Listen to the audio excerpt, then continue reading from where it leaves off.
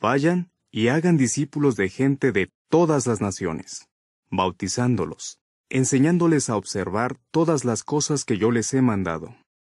Mateo 28, 19 y 20.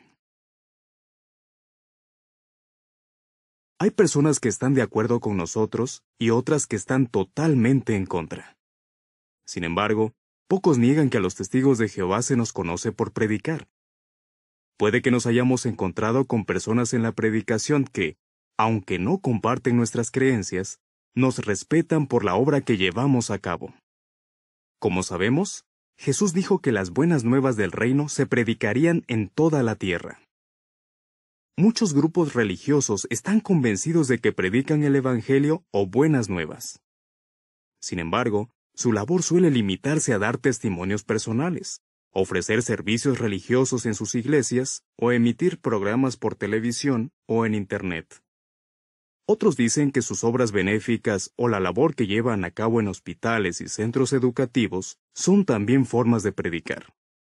Pero, ¿de verdad cumplen el mandato que Jesús dio a sus discípulos quienes hacen estas cosas?